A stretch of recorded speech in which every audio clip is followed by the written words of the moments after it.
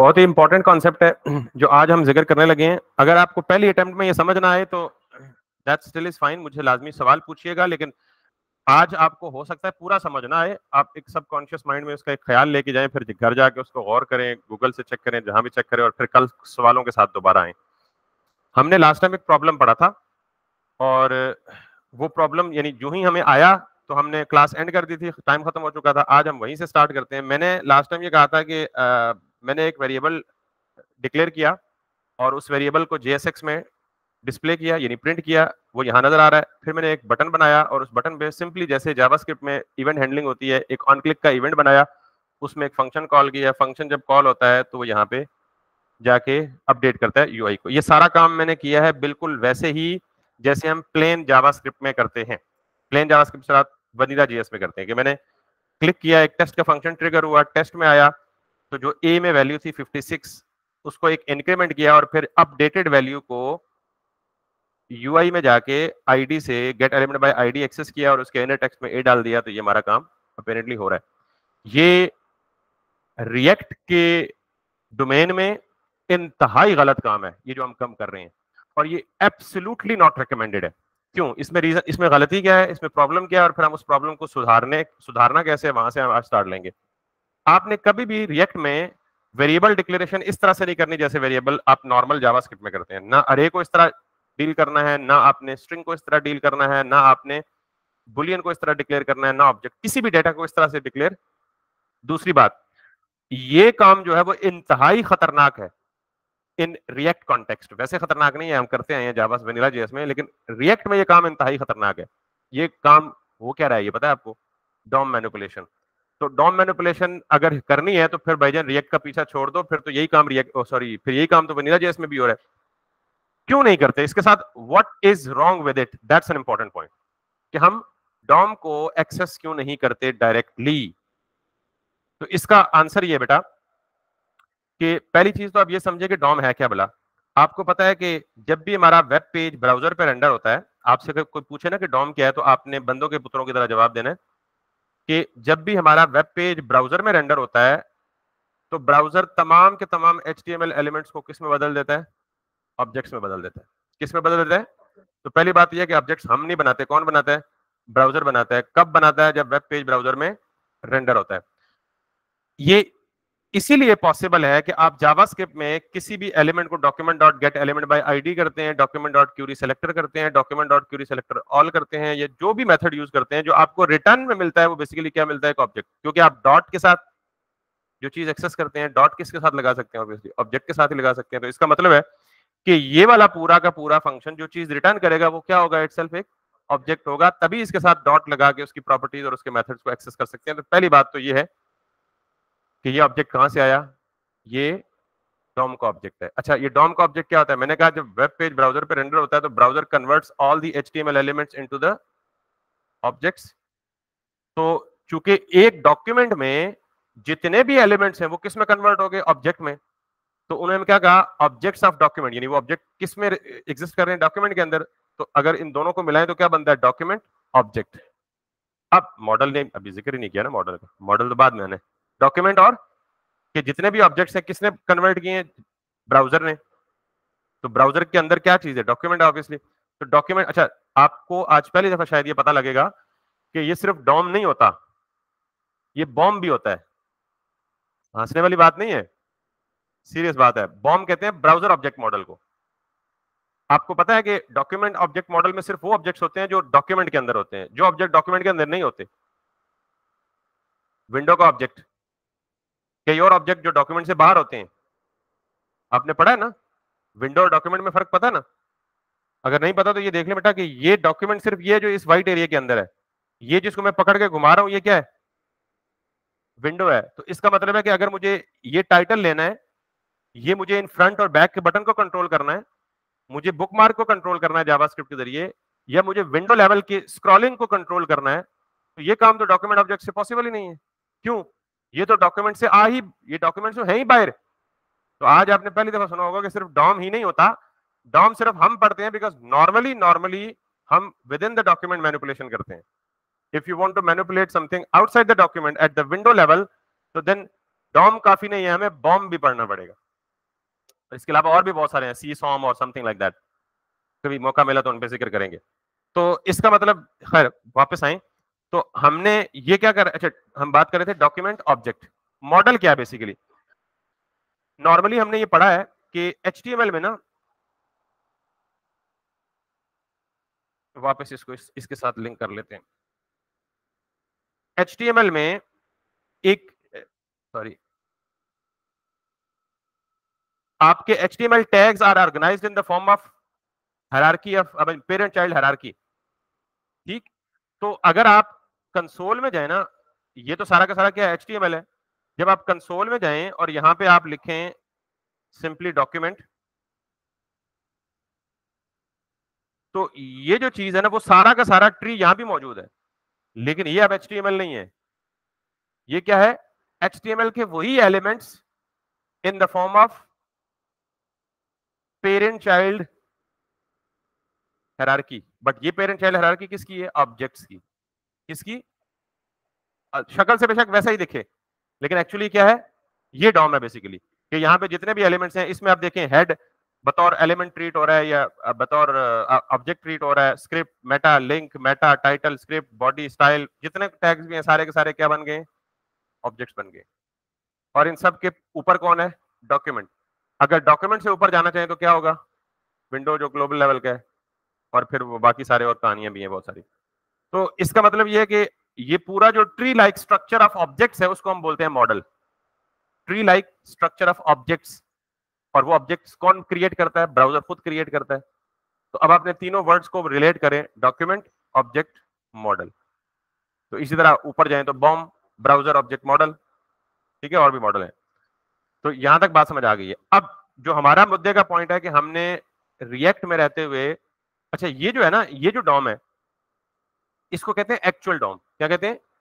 Actual Dom इसके साथ एक मसला है, और ये मसला सालों से चला आ रहा है। वो ये मसला है कि जब आप किसी भी बटन पे क्लिक करते हैं तो मैंने क्लिक इस बटन पे किया और चेंज इस पर्टिकुलर टेक्स्ट ने होना था। लेकिन ये ये जो क्लिक है, ये करेगा क्या? पूरा का पूरा डॉम जो है, डॉम ट्री जो है, वो रीपेंट करेगा सिर्फ़ एक काम करने के लिए।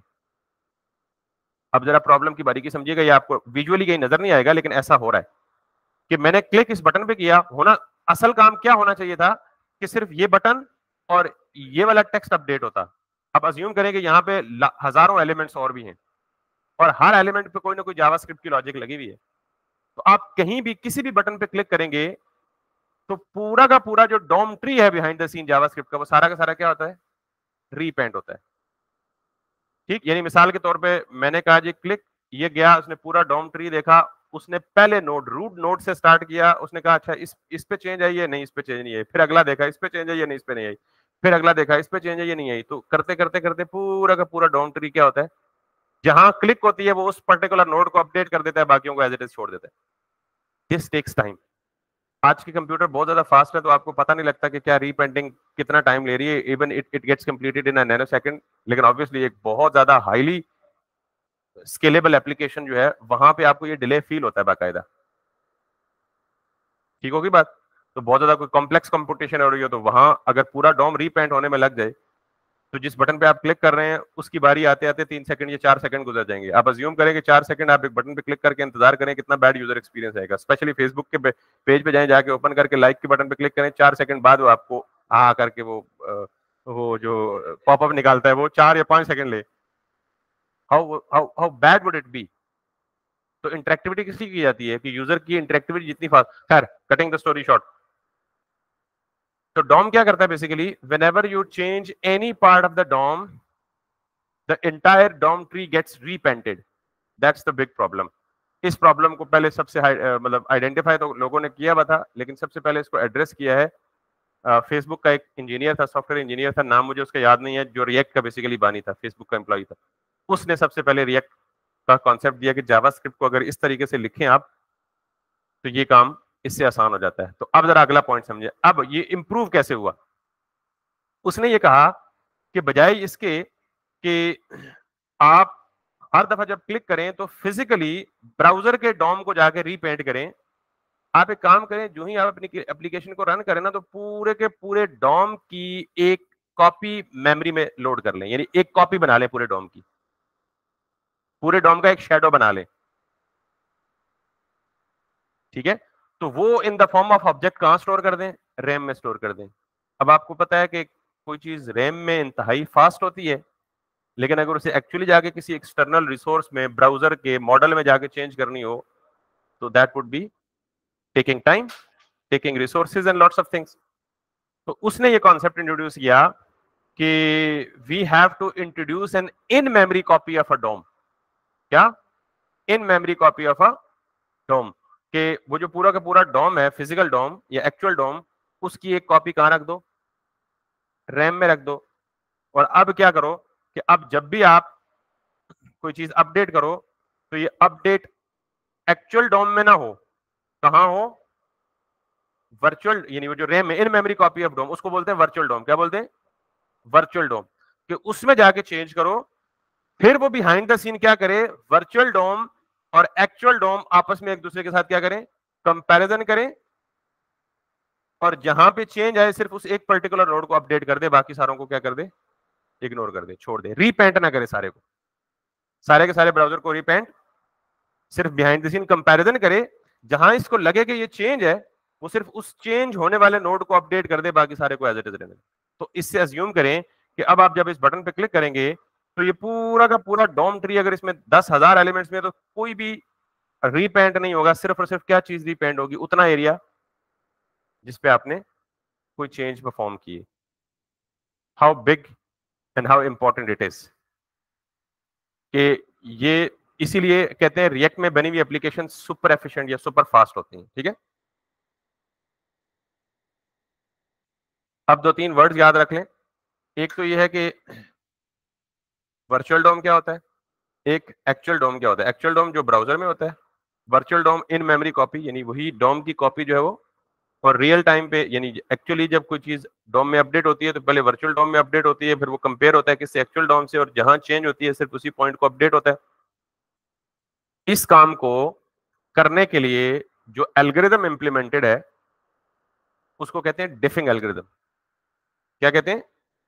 डिफिंग एल्गोरिदम क्या करता है? यानी जो वर्चुअल डोम और एक्चुअल डॉम का कंपैरिजन है, और फिर जिस जगह पे अपडेट होना है, सिर्फ़ उसी नोड को अपडेट करना, ये काम करने का रिस्पॉन्सिबल है जो चीज़ बिहाइंड द सीन ये ये काम कौन करता है बेसिकली डिफिंग एल्गोरिदम और इस प्रोसेस को कहते हैं रिकॉन्सिलिएशन ये पहले मैंने बड़ी देसी ज़ुबान में समझाया, अब मैं टेक्निकल टर्म्स इसलिए बता रहा हूँ कि कहीं इंटरव्यू में या कहीं इंटरनेट पे आप पढ़ेंगे जी के रिकॉन्सिलिएशन तो रिकॉन्सिलिएशन क्या है कि any change that is detected in a virtual DOM gets reflected in the actual DOM.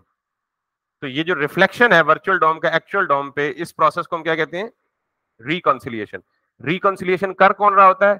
Diffing algorithm अब जो पहले सारी चीज़ अपना देसी ज़ुबान में समझाइए, अब उसकी टेक्निकल ज़ुबान ये कि virtual DOM is an in memory copy of an actual DOM ठीक?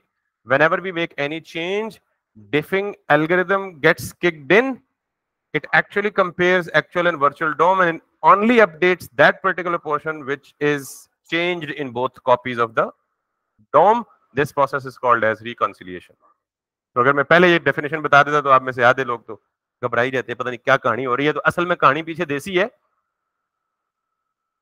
ये उसकी टर्मिनोलॉजी है। तो इसलिए इसलिए इसलिए ये सारा काम, क्योंकि actually behind the scene diffing algorithm कर रहा होता है तो फिर उसने कहा, जी, जो तुम काम करोगे वो भी मेरे बताए हुए तरीके के मुताबिक करोगे तो ये होगा अदरवाइज़ यानी अगर हम वेरिएबल्स डिक्लेयर करने के लिए ये कन्वेंशन यूज़ करें तो कोई डिफिंग एल्गोरिदम नहीं, कोई वर्चुअल डॉम नहीं, किसी का कोई असर नहीं पड़ेगा। अब जो कॉन्सेप्ट समझाऊँगा ना, उसमें मज़ा आएगा आपको, नहीं तो पैसे वापस। लेकिन ये सारी बातें आपके जहन में होनी चाहिए, ठीक है? तो प्रॉब्लम समझ आ गया कि we don't have to go to the actual DOM ये काम अब कौन करेगा? डिफिंग एल्गोरिथम करेगा ना? एक्चुअल डॉम को अपडेट करने वाला। कैसे अपडेट करेगा? वर्चुअल डॉम से कंपेयर करके। जो नोट डिफरेंट होगा, सिर्फ़ उसको अपडेट कर देगा। समझ आई बात? तो डिफिंग एल्गोरिथम ने करना तो उसने ये कहा है, भाईजान, ये तब करूँगा जब आप मेरी रिकमेंडेड तरीकों से, मेरे, मेरी बताई हुई चीज़ों पे चलोगे। ठीक है? तो अब देखिएगा। किसी भी वेरिएबल को डिक्लेयर करने के लिए रिएक्ट के फंक्शनल कंपोनेंट के अंदर रिएक्ट के फंक्शनल कंपोनेंट के अंदर के अंदर की बात कर रहा हूँ, बाहर आप कर सकते हैं। रिएक्ट के फंक्शनल कंपोनेंट के अंदर, जब भी आपको वेरिएबल डिक्लेयर करना है तो आप उसके लिए एक बिल्ट इन फ़ंक्शन इस्तेमाल करेंगे that is called as state use state क्या करेंगे? फ़ंक्शन कॉल ऐसे ही होता है ना तो मैंने जब यूज़ स्टेट किया तो इसने एरर नहीं दिया, और मैंने यूज़ स्टेट को डिफाइन भी नहीं किया, क्योंकि यूज़ स्टेट फ़ंक्शन ऑलरेडी कहाँ लिखा हुआ है? रिएक्ट के अंदर, उसने ऑटोमेटिकली उसे इंपोर्ट कर लिया। ठीक होगी बात? अब एक और बात सुन लें। इसने जो इंपोर्ट किया तो हमने जो इंपोर्ट किया, इन दोनों का तरीका डिफरेंट नहीं लग रहा आपने? इसने तो करली ब्रैकेट में इंपोर्ट किया, हमने तो करली ब्रैकेट कभी नहीं देखी। आज से पहले। तो before actually talking about the state और use state let's talk about two ways of importing and exporting आप दो तरीके पढ़ेंगे इंपोर्ट करने के और एक्सपोर्ट करने के। अभी तक कितने तरीके देखे एक तरीका देखा एक्सपोर्ट करने का भी और इंपोर्ट करने का भी। एक्सपोर्ट करने का क्या तरीका है? एक्सपोर्ट डिफ़ॉल्ट और नेम ऑफ़ द फ़ंक्शन आगे पूरी कहानी। और फिर इंपोर्ट करते वक्त import name of the function और आगे फ्रॉम और उसका पाथ यानी फ़ाइल का नेम दूसरा तरीका एक और है, और वो ये है, जैसे इसने किया इंपोर्ट लेकिन ये कब हो सकता है? जब आप किसी वेरिएबल के साथ डिफ़ॉल्ट ना लिखें। उसे एक्सपोर्ट करें, लेकिन डिफ़ॉल्ट ना लिखें तो ऐसा वेरिएबल जो एक्सपोर्ट तो हो रहा है, लेकिन वो डिफ़ॉल्ट एक्सपोर्ट नहीं है, उसको इंपोर्ट करते वक्त आप क्या लगाते हैं? करली ब्रैकेट लगाते हैं। मिसाल देता हूँ। मिसाल के तौर पे मेरे पास टेस्ट के अंदर एक तो ये फ़ंक्शन है ना, और एक बात और याद रखिएगा, एक फ़ाइल में, एक फ़ाइल में, एक वक्त में सिर्फ़ एक डिफ़ॉल्ट एक्सपोर्ट हो सकता है। नॉर्मल एक्सपोर्ट ज़्यादा भी हो सकते हैं। मिसाल के तौर पर मैं कहता हूँ जी, मैं लिखता हूँ लेट ए इक्वल्स टू 90 और मैं इसके पीछे क्या लिख देता हूँ? एक्सपोर्ट अब ये, इसका मतलब ये है कि मैं ये जो पूरी वेरिएबल की डिक्लेरेशन है, इसको क्या कर रहा हूँ? एक्सपोर्ट कर रहा हूँ। इसके साथ डिफ़ॉल्ट लिखा है मैंने। इसको भी तो क्या कर रहा हूँ? पूरे फ़ंक्शन को एक्सपोर्ट कर रहा हूँ ना? साथ में क्या लिखा है? इसका मतलब है ये दोनों चीज़ें एक्सपोर्ट हो रही हैं, लेकिन दो डिफरेंट तरीकों से हो रही हैं। एक हो रहा है डिफ़ॉल्ट एक्सपोर्ट और एक हो रहा है नेम्ड एक्सपोर्ट आई रिपीट नाम याद रखने। एक हो रहा है नेम्ड एक्सपोर्ट और एक हो रहा है डिफ़ॉल्ट एक्सपोर्ट या नेम्ड वाले को नॉर्मल एक्सपोर्ट भी कह सकते हैं। नॉर्मल एक्सपोर्ट डिफ़ॉल्ट एक्सपोर्ट अब इनको इंपोर्ट करने का तरीका।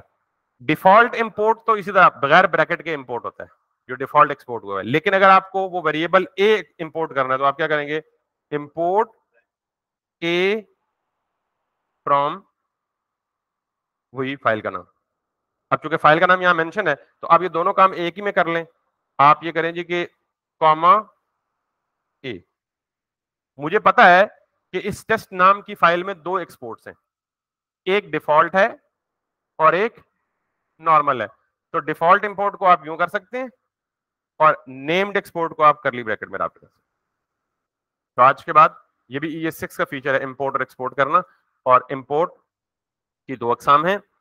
ये दो अकसाम नहीं इंपोर्ट दो तरीकों से होता है और एक्सपोर्ट भी दो तरीकों से होता है। अब आप सवाल ये होगा कि हमें कैसे पता चलेगा हमने कब डिफ़ॉल्ट एक्सपोर्ट करना है और कब हमने नेम इंपोर्ट करना है? एक कुलिया याद रख लें। जब भी आप फंक्शनल कंपोनेंट को एक्सपोर्ट करेंगे तो एक फ़ाइल में मैंने कहा था एक ही फंक्शनल कंपोनेंट होगा। तो आप फंक्शनल कंपोनेंट को कैसे एक्सपोर्ट करेंगे? डिफ़ॉल्ट ये जनरल रूल है। ये मैंडेटरी चीज़ नहीं है। यानी ये हार्ड एंड फास्ट रूल ऐसे नहीं, ये ये ऐसे नहीं कि it would always be like that लेकिन जनरल रूल ये याद रख लें अपनी परसेप्शन के लिए, आगे चल के आपको खुद ही अंदाज़ा हो जाएगा कि जब आपने डिफ़ॉल्ट एक्सपोर्ट किसको देना है? नॉर्मली नॉर्मली फंक्शनल कंपोनेंट को। और नेम्ड एक्सपोर्ट किसको देना है? डेटा को। वेरिएबल को। मतलब वेरिएबल डेटा में डेटा वेरिएबल में स्टोर होता है। मतलब आपका कोई इंटीजर है, आपकी कोई स्ट्रिंग है, आपकी कोई अरे है, आपका कोई ऑब्जेक्ट है, आपकी अरे ऑफ़ ऑब्जेक्ट्स है, ये सारे के सारे क्या है? डेटा है ना? जब आप इनको एक्सपोर्ट कर रहे होंगे तो इनको कैसे कर रहे होंगे? ये जनरल रूल है, जो हम कर दें। नॉर्मल फ़ंक्शन को भी इसी तरह करते हैं। नॉर्मल फ़ंक्शन को भी क्या करते हैं? नॉर्मल फंक्शनल कंपोनेंट को नहीं उसको भी हम क्या करते हैं? नेम्ड एक्सपोर्ट करते हैं। And you are very right हम अभी जो कर रहे हैं यूज़ स्टेट ये कैपिटल से स्टार्ट हो रहा है। तो इसका मतलब है, ये फंक्शनल कंपोनेंट नहीं है। तो इसलिए ये जो एक्सपोर्ट हुआ है ये क्या होगा? नेम्ड एक्सपोर्ट इसलिए मैंने यहाँ से करली ब्रैकेट में तो ये एक जनरल रूल बता रहा हूँ, बस इसको लेके स्टिक नहीं हो जाना, ठीक है? तो इम्पोर्ट एक्सपोर्ट हो गया ना? अब ये तो खैर वैसे ही बीच में मौजूद आ गया तो हमने छेड़ दिया। असल बात क्या चल रही थी कि आपको जब भी रिएक्ट में डेटा स्टोर करना है तो आप वेरिएबल डिक्लेयर करने के लिए और वेरिएबल को इनिशियलाइज करने के लिए क्या इस्तेमाल करेंगे? यूज़ स्टेट का फ़ंक्शन अब यूज़ स्टेट फ़ंक्शन आपको दो चीज़ें रिटर्न करती है।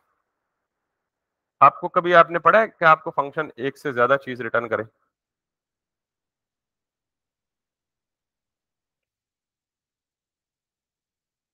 वो तो फंक्शनल कंपोनेंट की बात हो, ये मैं नॉर्मल फ़ंक्शन की बात करूँ कोई नॉर्मल फ़ंक्शन आपको एक से ज़्यादा चीज़ें रिटर्न कर सकता है?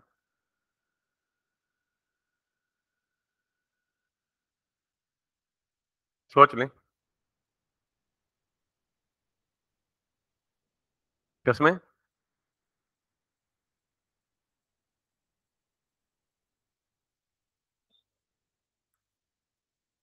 क्यों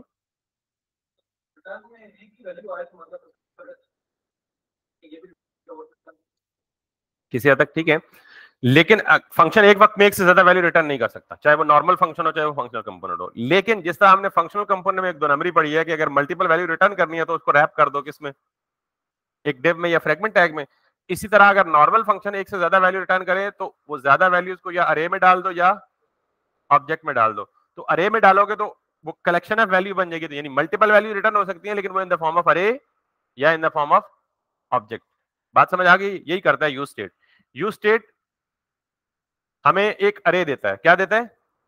एक अरे और उस अरे को हम अगर ये करें तो मुझे आप बताएँगे ये क्या किया है हमने। ये मैं क्या करने लगा इक्वल टू के लेफ़्ट साइड पे स्क्वायर ब्रैकेट्स किस मकसद के लिए इस्तेमाल की जाती हैं?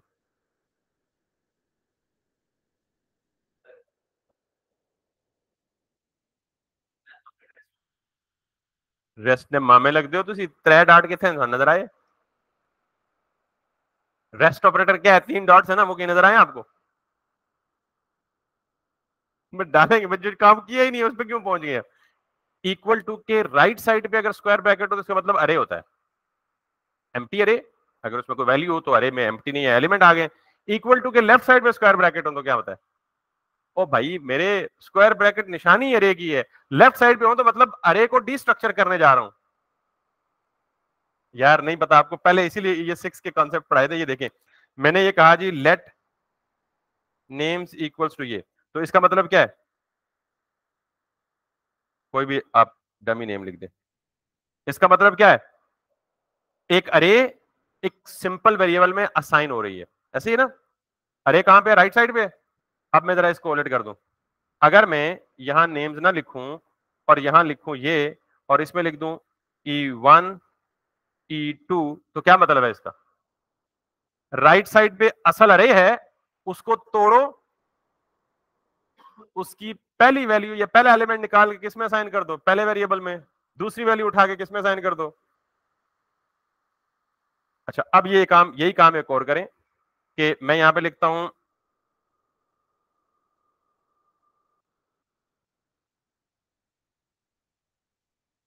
और मिसाल देता हूँ कि यही काम क्या कर रहा हो, ये फ़ंक्शन कर रहा हो।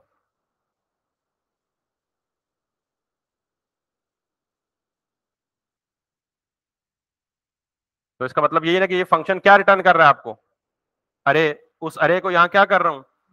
स्ट्रक्चर कर रहा और कितनी चीज़ें रिटर्न कर रहा है? तो अगर यहाँ से तीन करता तो कितने वेरिएबल लिखता? चार करता तो कितने लिखता? तो ये कहानी आपको नहीं समझ आई थी वहाँ पे। कि स्क्वायर ब्रैकेट इक्वल टू के लेफ़्ट साइड में हो तो इसका मतलब क्या हो रहा है? मेहरबानी है। पिछले कंसेप्ट तुम पढ़ने, मैं नहीं पढ़ने। तो ये क्या करने लगा हूँ भाई? किसको डिस्ट्रक्चर करने लगा पता ही नहीं है तो। तो इसका मतलब है कि यू स्टेट हमेशा यू स्टेट एक बिल्टन फ़ंक्शन है। ये हमेशा आपको क्या देगा? अरे रिटर्न करेगा। और उस अरे में कितनी चीज़ें होंगी? दो। हमेशा कितनी होंगी? दो। तो जब मैंने ये वेरिएबल के नाम रखे तो आपसे पूछ के रखे थे? क्या उसने मुझे पाबंद किया था कि नाम ये रखने? नहीं ना। तो इसी तरह यू स्टेट जो चीज़ रिटर्न करेगी, कितनी? तो उनके नाम क्या रखने? मेरी मर्ज़ी। उनके नाम क्या रखने? इतना पता है कि कितनी चीज़ें रिटर्न करेगी? दो। दो ही करेगी लाजमी। नाम क्या रखने? कोई पाबंदी नहीं है, जो अपनी मर्ज़ी है, जो दिल करे। तो मैं रखता हूँ ए सेट ए कन्वेंशन ये, नाम जो मर्ज़ी रख लें, लेकिन कन्वेंशन ये है कि जो पहला नाम रखेंगे ना, ये उस वेरिएबल का नाम होगा जिसमें आप डेटा स्टोर करना चाह रहे हैं। और जो दूसरा नाम रखेंगे, वो एग्जैक्टली exactly वही नाम होगा, लेकिन उसके पीछे प्रीफिक्स लगा दें क्या? सेट यानी सेटर फ़ंक्शन समझ आ गई बात? तो अब, आज के बाद जब भी आप वेरिएबल डिक्लेयर करेंगे रिएक्ट में तो आप क्या तरीका इस्तेमाल करेंगे? यूज़ स्टेट क्या इस्तेमाल करेंगे? यूज़ नॉर्मल मैंने आपको कहा कि variable name always starts with lower case and if there are multiple words then हम उसको कैमल केस बना देते हैं। तो ए छोटा इसलिए लिखा है कि वेरिएबल का नाम है। कैपिटल लिखेंगे तो वो हम कन्वेंशन से हट जाएँगे। अदरवाइज़ लिख सकते हैं, कोई मुजायका नहीं उसमें। यहाँ तक बात समझ आ गई है। तो आज के बाद आपने ये सारे के सारे तरीके क्या हैं? गलत। तो नॉर्मली रिएक्ट में वेरिएबल को आप वेरिएबल नहीं कहेंगे, बल्कि क्या कहेंगे? स्टेट वेरिएबल क्या कहेंगे? Variable is not a single simple variable variable is a state variable बात क्लियर होगी यहाँ पे? ये बातें बड़ी पुख्ता है बेटा। अब जरा अगली बात सुनिएगा। जो वर्चुअल डॉम वो कहानी सुनाई है ना क्लास की शुरू में, अब उसको इसके साथ लिंक करूँगा कनेक्ट करूँगा। तो अब इसका मतलब है कि ये काम नहीं होगा। मैनुअली जाके डॉम को अपडेट नहीं करूँगा तो फिर कैसे करूँगा? Normally use state always return you two things. पहली चीज़ होती है सिंपल वेरिएबल नेम और जो दूसरी चीज़ होती है उसको हम कहते हैं सेटर फ़ंक्शन। क्या कहते हैं? अगर आपको कहीं वैल्यू अपडेट करनी पड़े, जैसे मैं ए प्लस प्लस कर रहा था ना ए प्लस प्लस का मतलब क्या है? ए की पहली वैल्यू को क्या कर दो? अपडेट कर दो। अब ये काम नहीं करना है। ये काम ऐसे करना है। आप अगर ए की वैल्यू को अपडेट करना हो तो आप क्या इस्तेमाल करेंगे? सेटर फ़ंक्शन इस्तेमाल करेंगे। क्या इस्तेमाल करेंगे?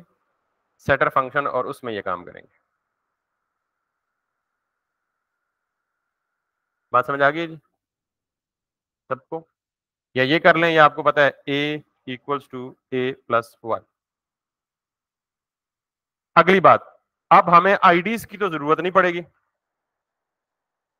क्योंकि आईडी की ज़रूरत कहाँ पड़ती थी? जब वनिला जेएस में।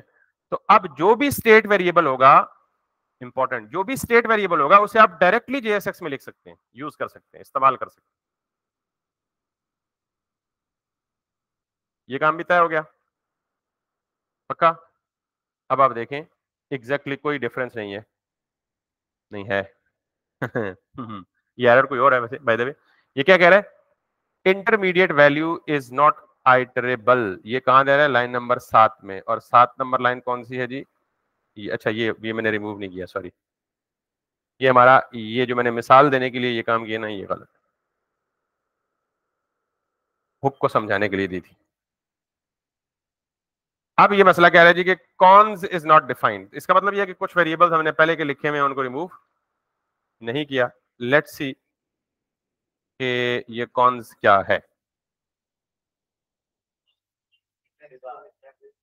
किधर ओ ये तो हमारे ब्लेंडर है ना यार। अब वो कह रहा है कि अब कोई और वेरिएबल है जिसको हमने गलत किया हुआ है। वो क्या कह रहा है जी? कि cannot reassign a value to a variable अच्छा मैंने अभी आपको कॉन्स्ट वगैरह का मतलब तो नहीं बताया ना कि कॉन्स्ट क्या होता है और वो क्या होता है और ये क्या होता है? तो इसलिए वो एरर आता है। वो लेकिन मैंने बताया नहीं ना, मैंने इसलिए कॉन्स्ट को हटाकर लेट कर दिया, ठीक है? वैसे असल मुद्दा यही है कि आप किसी वेरिएबल को कॉन्स्ट डिक्लेयर कर दें, दोबारा उसको वैल्यू रीअसाइन करने की कोशिश करेंगे तो एरर देगा कि कॉन्स्ट की वैल्यू रीअसाइन क्योंकि मैं यहाँ क्या कर रहा था? इसको मैंने कहा, जी ए क्या है? कॉन्स्ट है। अभी ये समझ ही गए हैं तो तो ये क्या है बेसिकली कॉन्स्ट है। तो मैं कॉन्स्ट ए है तो मैं यहाँ पे क्या कर रहा था? A is equal to a plus one यानी मैं ए की वैल्यू को क्या कर रहा था? इंक्रीमेंट करके दोबारा ए में असाइन कर रहा भाई जी, खैर है पागल आप ऊपर आप कह रहे हैं कॉन्स्ट है, मैं चेंज नहीं करूँगा कभी, और नीचे आप चेंज कर रहे हैं।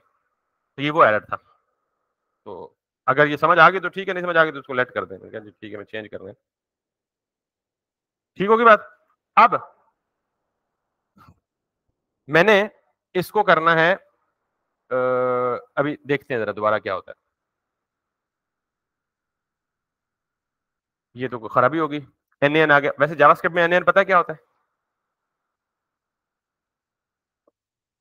हाँ एन एन एक एरर है जावास्क्रिप्ट की बिल्ट इन टर्मिनोलॉजी है, जिसका मतलब है कि नॉट अ नंबर ठीक है?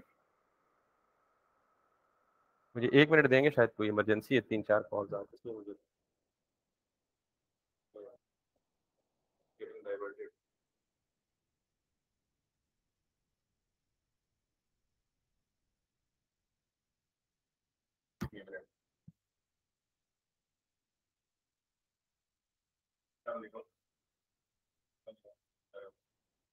क्लास ले रहा हूँ? दस मिनट जुड़िए ऑफ़िस से छुट्टी इंशाल्लाह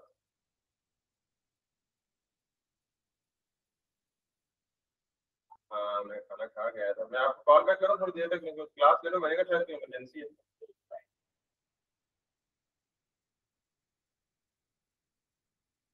थोड़ी देर तक कॉल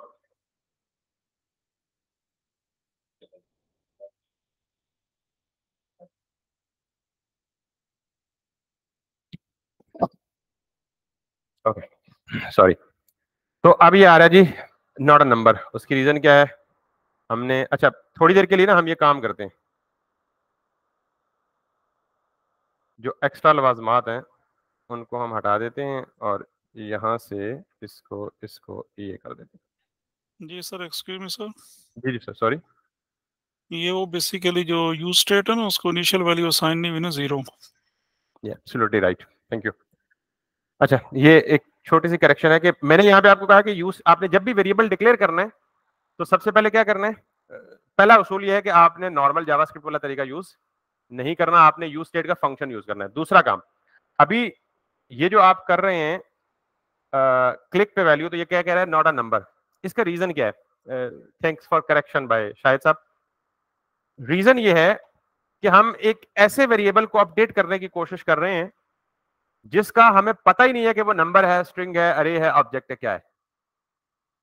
आपको एक ही शक्ल से देख के लग रहा है क्या है? वही कह रहा हूँ ना कि अभी शक्ल से देख के लग रहा है एक, क्या एक ही इनिशियल वैल्यू क्या है या एक किस टाइप का? तो इसलिए जब मैं अपडेट कर रहा हूँ, ये टेस्ट का फ़ंक्शन कॉल हो रहा है, वो कह रहा है ए में प्लस प्लस कर दो, यानी ए की वैल्यू को क्या कर दो? बढ़ा दो। वो कह रहा है ए की एग्जिस्टिंग वैल्यू क्या है? कुछ भी नहीं, खाली मतलब। उसको लग रहा है ए नंबर है ही नहीं। तो इसलिए वो क्या कह रहा है, ए नॉट अ नंबर भाई, मैं क्यों इंक्रीमेंट करूँ? ए नंबर ही नहीं है। तो करेक्शन ये थी कि जब आप यूज़ स्टेट देते ना तो आपको किसी वेरिएबल की इनिशियल वैल्यू अगर देनी हो, मिसाल के तौर पे मैंने यहाँ पे लिखा था जैसे अभी पिछली एग्जांपल में जावास्क्रिप्ट में let a equals to twenty तो इसका मतलब है ए की इनिशियल वैल्यू क्या है? नंबर है। ट्वेंटी है, लेकिन नंबर है ना। और अगर आप कोई वैल्यू नहीं देना चाहते तो आप क्या कर दें? ज़ीरो कर दें। इवन अगर फिर कोई वैल्यू नहीं देना चाहते तो क्या कर दें? नल कर दें अनडिफाइंड कर दें, कुछ ना कुछ कर दें। लेकिन आपको यहाँ इनिशियल वैल्यू क्या देनी पड़ेगी? ज़रूरी देनी पड़ेगी। रिएक्ट जेएस में इनिशियल वैल्यू देने के लिए आप क्या करते हैं? यू स्टेट का जो फ़ंक्शन है, उसकी ब्रैकेट्स में वैल्यू पास कर देते हैं। मिसाल के तौर पे अगर आप चाहते हैं कि ये नंबर क्या होगा और ये ये वेरिएबल क्या होगा? न्यूमेरिक होगा। आप इसको क्या वैल्यू दे दें? ज़ीरो दे दें। अगर चाहते हैं स्ट्रिंग होगा तो क्या दे दें? इनिशियल वैल्यू स्ट्रिंग दे दें। अगर चाहते हैं कि वेरिएबल अरे होगा तो इनिशियल वैल्यू क्या दे दें? अरे दे दें। यानी आप ये कर सकते हैं ज़ीरो आप ये कर सकते हैं इनिशियली स्ट्रिंग आप ये कर सकते हैं इनिशियली क्या है? ऑब्जेक्ट अगर आपको अरे चाहिए तो आप ये कर सकते हैं। और अगर आपको अरे ऑफ़ ऑब्जेक्ट चाहिए तो आप ये कर सकते हैं अरे के अंदर ऑब्जेक्ट्स मल्टीपल ठीक? तो that is the error that I was making असल में इशू मेरा ये है कि मैं थोड़ा सा डाइवर्ट हो जाऊँ ना तो मेरा फ्लो टूट जाए तो। काम ही सारा गड़बड़ हो जाता है। अभी पिछली सारी क्लास इस वजह से गायब हुई है कि क्लास के स्टार्ट में कॉल आ गई और उस कॉल पे कोई की बैंकिंग रिप्रेजेंटेटिव की तीन दिन पहले में उनसे क्लैश हुआ था। तो कॉल पे झगड़ा हो गया पूरा आधा घंटा उस कॉल पे लग गया पूरी क्लास गई उधर। खैर coming back to the point अब अगर मैं ये काम करूँगा तो अब ए की इनिशियल वैल्यू क्या है? ज़ीरो ये ज़ीरो यहाँ पे नॉर्मली आपको डिस्प्ले होता हुआ नज़र आएगा। नाउ दिस इज़ व्हाट अब अगर आप इस पे प्लस uh, करेंगे ठीक? एक काम हो रहा है गलत? वो मुझे पता है कि मैं डबल क्लिक पे ये अपडेट हो रहा है। वो मुझे पता है कि उसे कैसे हैंडल करना है, लेकिन अब ये जो काम है, आपने इसमें डायरेक्ट जावास्क्रिप्ट को मैनिपुलेट भी नहीं किया। वो गेट एलिमेंट बाय आईडी वाले ड्रामे भी नहीं किए, और ये ऑटोमेटिकली क्या हो रहा है? अपडेट हो रहा है। यहाँ पे एक बात बहुत ज़्यादा इंपॉर्टेंट है, जो इवन यकीन माने मुझे कि मैं रिएक्ट पढ़ के, समझ के दो तीन बैच पढ़ा के, उसके बाद मुझे पता चली कि स्टेट का ये बिहेवियर भी है। तो आपने अभी से समझनी है कि ये कैसे पॉसिबल है कि मैं जब यहाँ से क्लिक कर रहा हूँ तो अपडेटेड वैल्यू यहाँ रिफ्लेक्ट हो रही है। तो याद रखिएगा हमेशा कि जब भी किसी कंपोनेंट की स्टेट चेंज होती है, जब भी किसी कंपोनेंट की क्लिक करने से स्टेट चेंज हो रही है। स्टेट चेंज होने का मतलब क्या है कि स्टेट वेरिएबल की वैल्यू चेंज हो रही है। तो स्टेट वेरिएबल की वैल्यू चेंज होने को शॉर्ट फॉर्म में क्या बोल रहा हूँ? स्टेट चेंज हो रही है। जब भी किसी कंपोनेंट की स्टेट चेंज होगी तो पूरा का पूरा कंपोनेंट क्या होगा? री रेंडर होगा। पूरा का पूरा कंपोनेंट क्या होगा? इसीलिए री रेंडरिंग में वो नई वैल्यू मेमोरी से उठा के लाएगा। अभी आपको शायद इस बात की अहमियत का नहीं पता।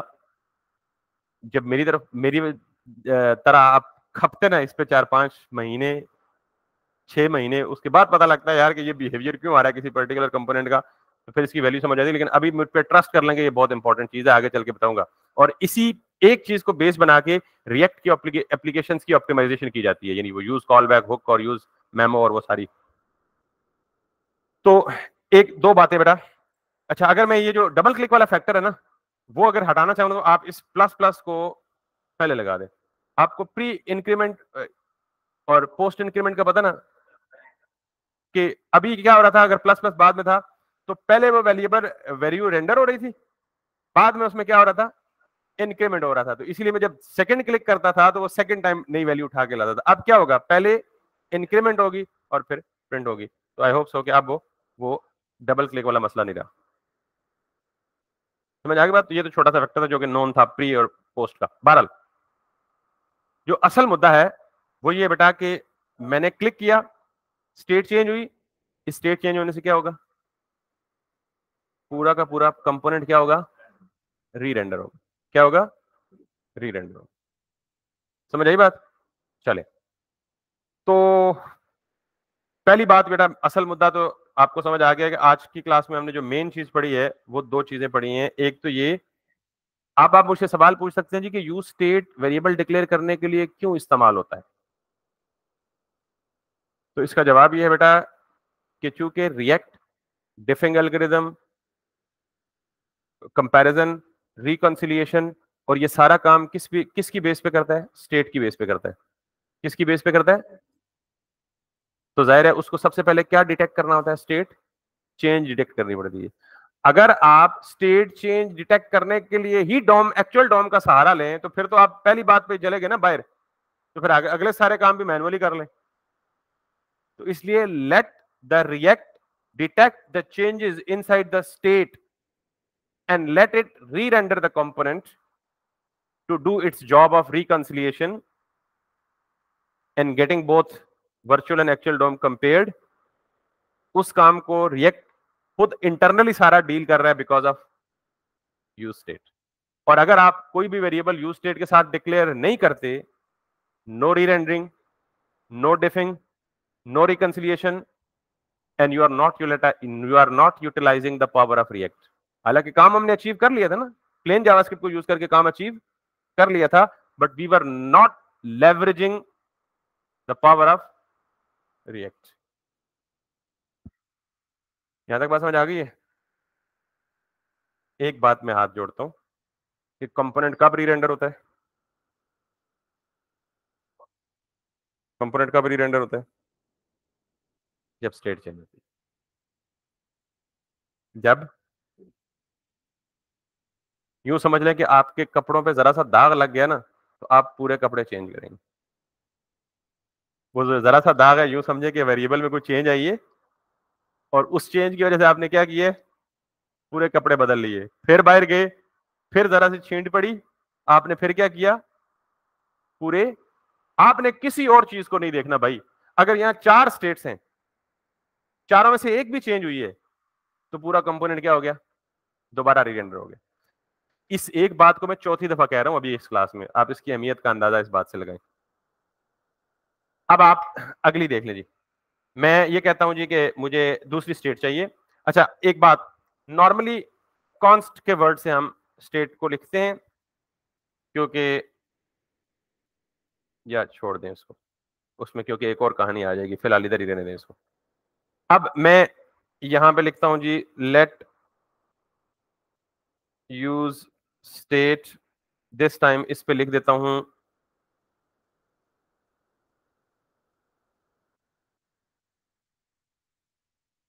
ट्रू और लिख देता हूँ विजिबल सेट विजिबल मैं ये चाहता हूँ कि यहाँ पे मैं इस बटन पे क्लिक करूँ तो साथ में ये पैराग्राफ क्या हो जाए? गायब हो जाए। या पहले गायब हो तो साथ में क्या हो जाए? डिस्प्ले हो जाए, ठीक है? तो मैं देखिएगा क्या करूँगा। टर्नरी ऑपरेटर पता ना आपको क्वेश्चन मार्क वाला? तो मैं यहाँ पे ये करूँगा कि चेक करो कि अगर ये विजिबल ट्रू है तो ये वाला पैराग्राफ रेंडर कर दो। अदरवाइज़ क्या कर दो यहाँ पे इसकी जगह? नल कर दो। अब मुझे बताएँ विजिबल की इनिशियल वैल्यू क्या है? ट्रू तो ये दिख रहा है। ऐसे ही, अगर मैं इसकी इनिशियल वैल्यू कर दूँ फॉल्स तो पैराग्राफ क्या हो गया? गायब हो गया। अब मैं ये काम यहाँ आके नहीं करूँगा। मैं चाह रहा हूँ कि एक बटन हो, इसी बटन के क्लिक पे। बाय डिफ़ॉल्ट वो क्या है? फॉल्स है। तो जब क्लिक हो तो टेस्ट का फ़ंक्शन कॉल हो। एक तो वो स्टेट को अपडेट करे, दूसरा काम क्या करे? सेट विजिबल पहले क्या था? फॉल्स अब क्या कर दें? ट्रू कर दें। अब यहाँ पे आए।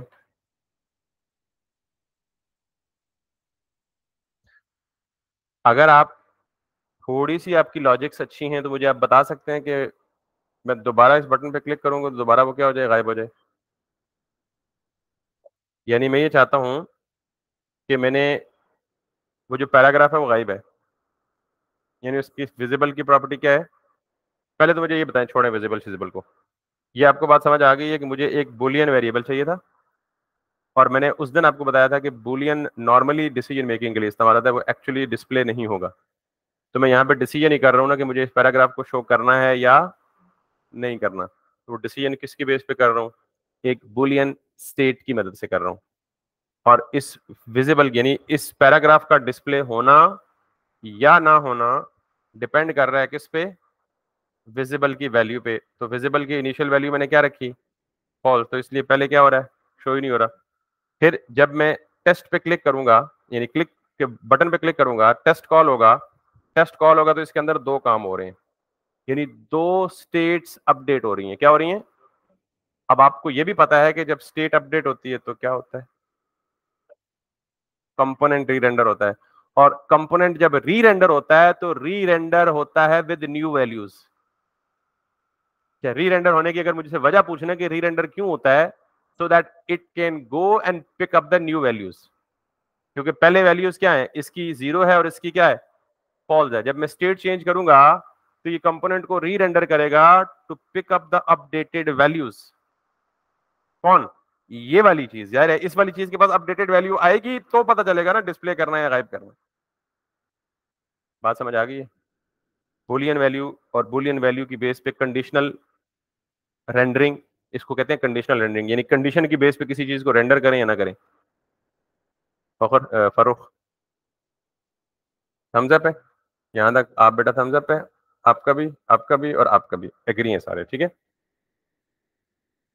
तो ये कितनी स्टेट वेरिएबल्स हो गए? दो स्टेट वेरिएबल इसी तरह आप स्टेट वेरिएबल चाहें तो आप ये भी कर सकते हैं। लेट नेम सेट नेम यानी आपको कोई स्ट्रिंग की एग्जांपल देनी है तो आप स्टिल क्या कर लें?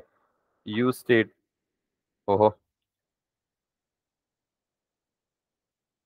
और यहाँ पे क्या कर लें इनिशियली एक एम्प्टी स्ट्रिंग है, और मैं चाहता हूँ कि ये जो नेम है ना, ये यहाँ पे रिफ्लेक्ट भी हो, यहाँ पे जाके ये नेम आ जाए। तो बाय डिफ़ॉल्ट यहाँ नेम शेम कुछ नहीं आ रहा ना तो मैं चाहता हूँ कि अब इस क्लिक पे एक के बजाय कितनी स्टेट्स अपडेट हों? तीन स्टेट अपडेट हों। कौन कौन सी? ए वाली, दूसरी बुलियन और तीसरी स्ट्रिंग तीनों स्टेट अपडेट हो, एक ही बटन के क्लिक पे let me do that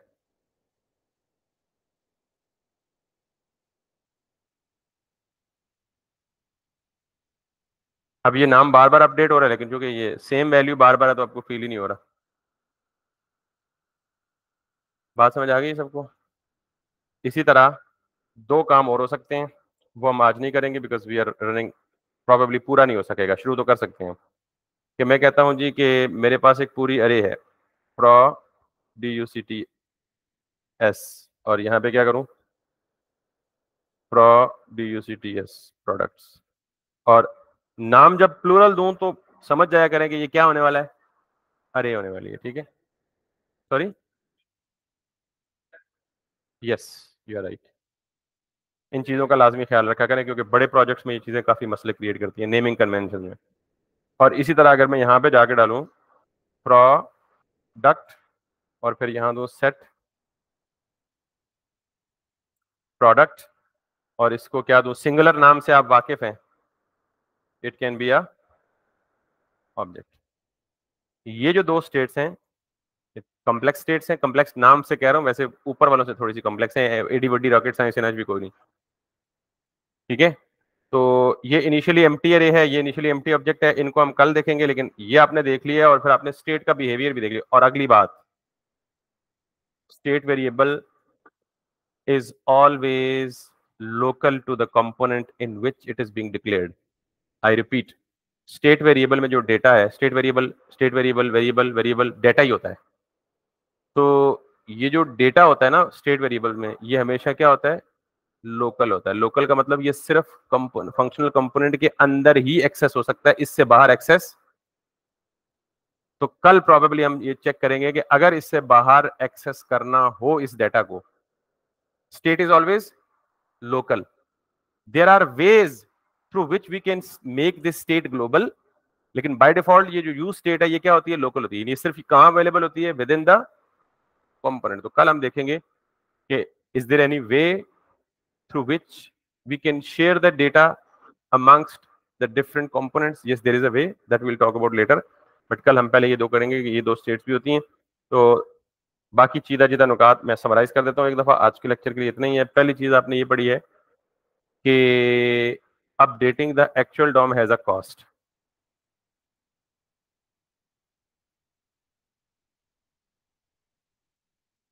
it actually repaints the entire DOM tree whenever there is a change, whenever there is a need to update a one single node.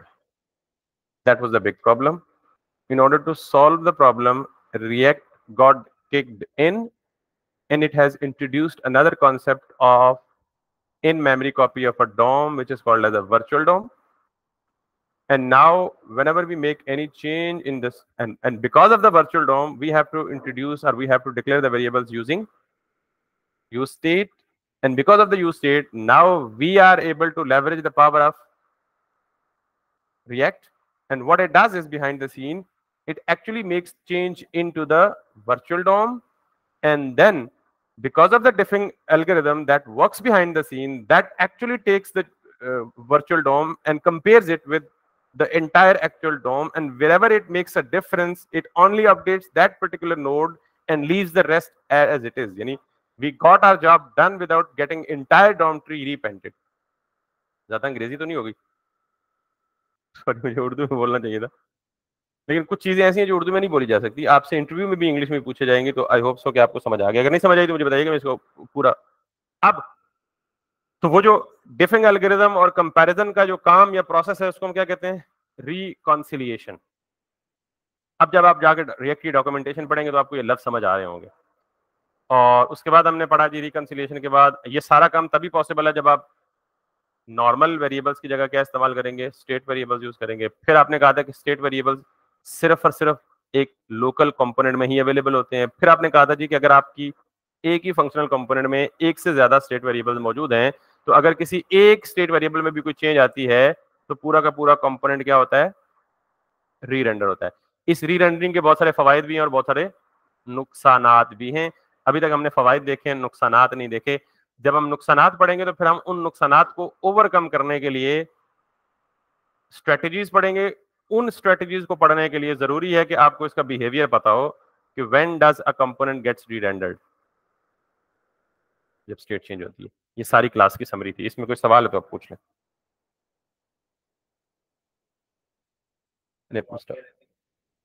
जी जी बोले